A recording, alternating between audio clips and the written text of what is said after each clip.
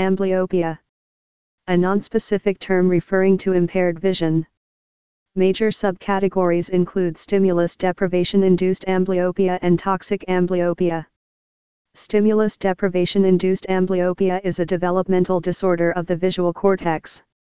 A discrepancy between visual information received by the visual cortex from each eye results in abnormal cortical development. Strabismus and refractive errors may cause this condition. Toxic amblyopia is a disorder of the optic nerve which is associated with alcoholism, tobacco smoking and other toxins and as an adverse effect of the use of some medications.